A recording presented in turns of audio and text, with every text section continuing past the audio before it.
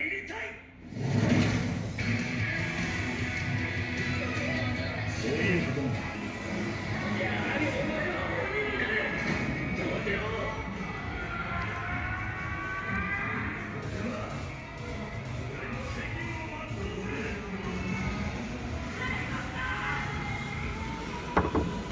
れは俺たち鬼殺隊の戦いの記録。いつも苦戦ばかりだけど。少しずつ進んでいくしかないんだ。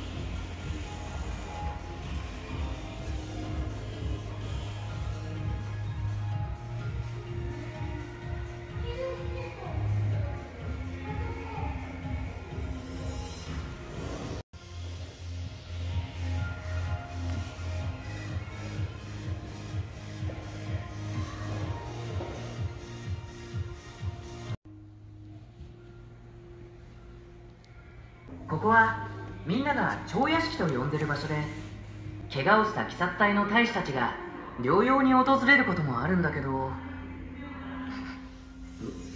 なんか匂うな。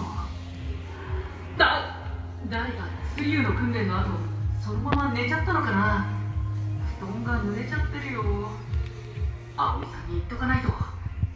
みんなも上には乗らないでね。